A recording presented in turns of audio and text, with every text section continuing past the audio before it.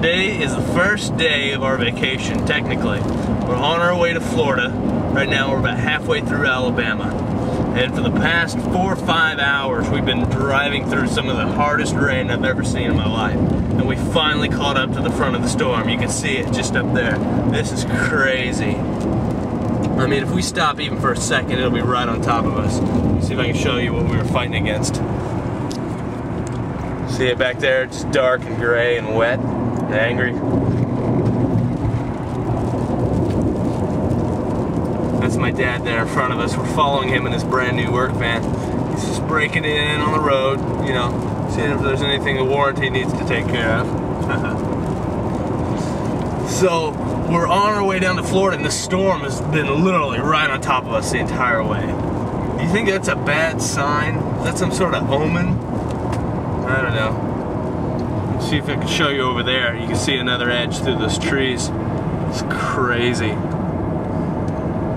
The clouds are just hanging in the sky. It's like somebody poured the storm out into the sky. It's weird, and it's spreading like a puddle or something. If we stop, you can get a good idea just how fast this storm is moving. It's crazy.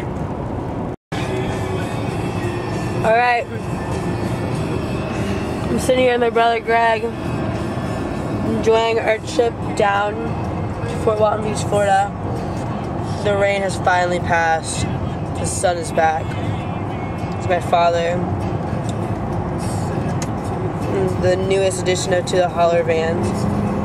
As Greg slams on the accelerator. Sky is thick as the storm rolls by. We pass with much speed and force.